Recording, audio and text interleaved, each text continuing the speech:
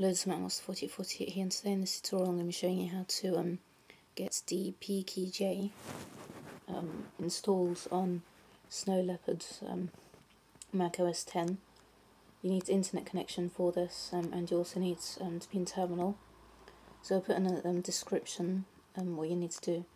So you need to um, type in cd space slash sw slash bin. You need to press enter.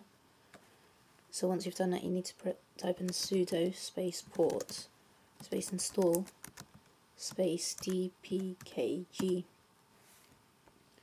Okay, so once you've done that you need to press enter and it'll take about 10 or 20 minutes to install.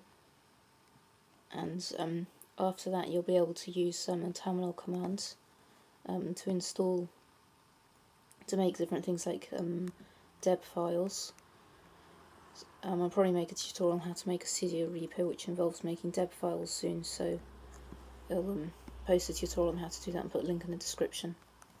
Anyway, thanks for watching tutorial. Please rate comment this video and subscribe and check out my other tutorials and videos.